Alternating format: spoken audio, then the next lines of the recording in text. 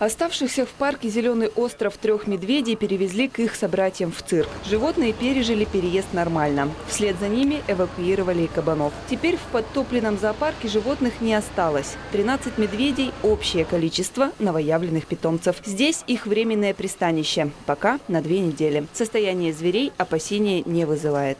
Сейчас вот за лекарствами послали кашляют все медведи.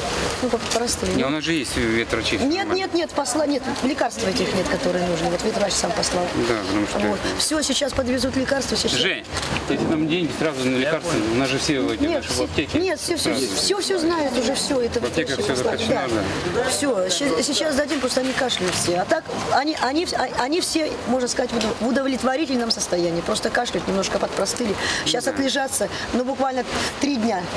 Им сейчас надо на адаптацию. И уже будут вести себя, как, как раньше вели. Этих трех медведей вывезли с территории зоопарка последними. На кадрах они отходят от наркоза. Так транспортировать животное безопаснее. Во время наводнения им повезло больше всех. Клетки косолапых в парке «Зеленый остров» были на самом высоком месте. Поэтому стоять в воде им не пришлось. Все звери сейчас получают необходимое для поправки здоровья питание.